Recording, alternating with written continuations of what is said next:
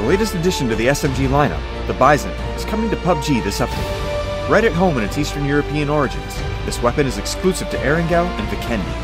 The Bizon comes with a massive 53 round default capacity and full auto option, and is best suited for quick and accurate sparring in close range. Because of the unique helical magazine that runs along the barrel, this SMG doesn't support magazine upgrades or lower rail attachments. However, the weapon has high firing stability built in, which allows for low recoil even without a grip. With only a muzzle and sight attachment to add, you'll have a fully kitted and reliable short-range weapon in your hands faster than ever before. The Bizon is also quieter and more agile than other SMGs, though its overall damage per second is lower than the UMP and Vector. Still, its large magazine and reduced sound will have you covered in situations that call for a quick sneak attack in close quarters.